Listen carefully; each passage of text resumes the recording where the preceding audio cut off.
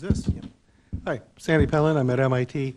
Uh, I came in just recently to this conference, and I was amazed because my first job was doing satellite mapping of land use. Finding beavers from outer space was my very first job, and I was, isn't that crazy? Uh, and I helped develop uh, the car monitoring systems for the Leaf, right? So I know a little bit about cars also. And uh, I also serve as a, on the board for Motorola Mobility, Telefonica, and some other things. Uh, but I also um, spend a lot of time with the World Economic Forum, really thinking about privacy, because what all these things have is these sort of issues that you just brought up, and more so. And uh, I think that a couple of nice things have come that I find promising. I tend to be an optimist.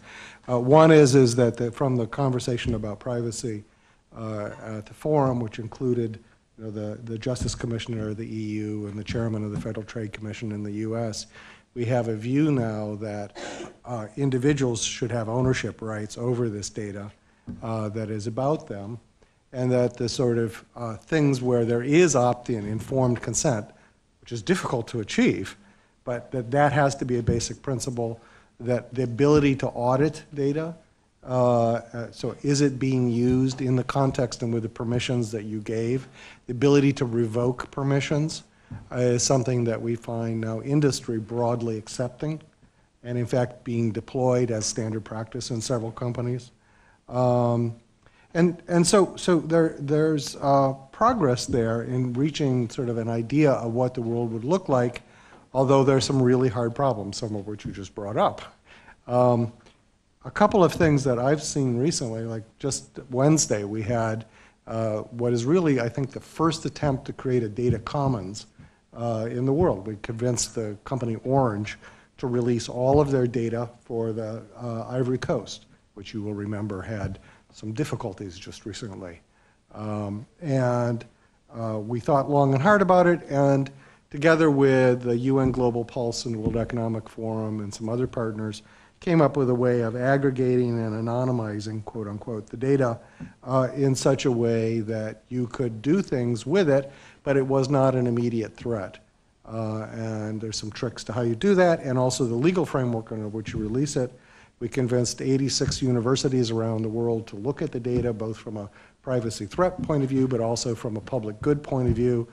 We found, one group found a way to improve transit time in the capital city by 10% by adding only a few small bus routes uh, to the critical places, so that's a huge public good.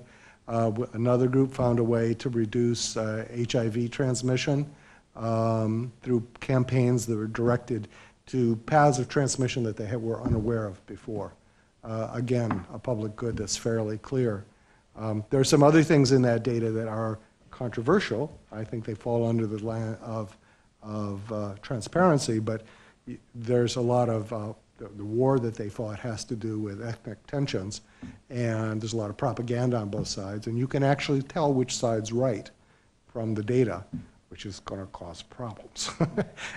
okay, but but you know what's interesting is is that companies like Orange, Telefonica, Verizon are really moving towards creating a data common for which a lot of public goods can come from, and it looks like there's at least a practical, although not perfect, path forward for doing that.